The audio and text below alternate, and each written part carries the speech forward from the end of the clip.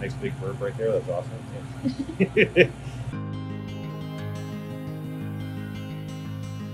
We've had Lily for 19 years now.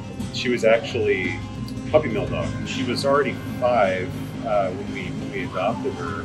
She's now 24. In her in her uh, earlier years, we had we were on various different states of kibble, um, and then with her age, you know, she started to have some teeth removed. She had a lot of dry skin stuff going on, and then uh, just food for dogs, actually uh, got introduced to it from a friend and uh, we started feeding her just as a trial. Um, she really liked the food, so then uh, we just kind of stuck with it, and then here we are. You know, and her weight, she's had really good weight the whole time. She's uh, always got really good uh, vet visits. You know, so just one of those things where it just you know it's kept her perked up a little bit more, seemed a little more engaged, wanting to play more often. With her being as old as she is, you know, we always worry about health issues and things like that, and um, so just you know having her on, on just food for dogs and again just seeing her energy change you know when we first started feeding it's been, it's been a good fit a good match and frankly again we contribute a lot of you know the life we're able to live together with, with Lily to the to the food to just food for dogs.